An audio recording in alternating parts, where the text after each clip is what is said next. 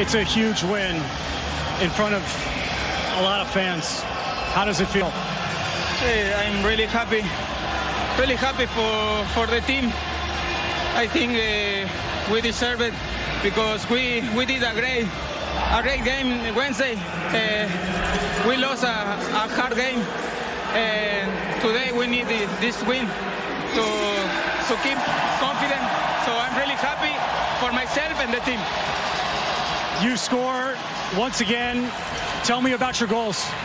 No, the, the first goal, we press higher.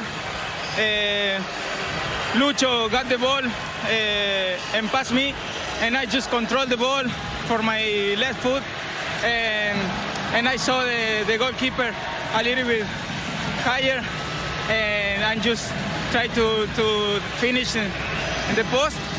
And the second goal uh, was similar. Lucho crossed the ball, and I just finished it in the, the second post. Uh, fortunately, it was goal.